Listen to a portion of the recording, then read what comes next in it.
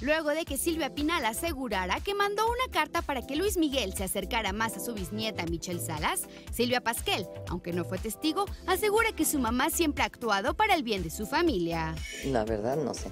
Y, bueno, si lo hizo está en su derecho de hacerlo y, es un detalle bonito, ¿no? Es un detalle hermoso.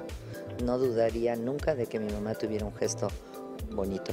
Oh, y más para mi hija o para mis nietas. La actriz, que el próximo agosto celebrará 50 años de trayectoria, platicó entre broma que cuando estrenen proyectos basados en la vida de su hermana Alejandra Guzmán y su mamá Silvia Pinal, se irá del país para no ver cómo la retratan. Yo me voy a ir a vivir a Timbuktu. Lo demás me vale sombrilla. Pero entre menos hables es mejor. Lo que tenga que ser será. Por mucho que hablaras esos temas, pues al final del día es la decisión propia. Lo que vayan a contar y lo que vayan a decir y lo que pasó, pues pasó. Es algo que está para mí en, en- en- en el pasado y que, y- y que al final del día pues me ha hecho ser una buena persona y eso es lo que cuenta.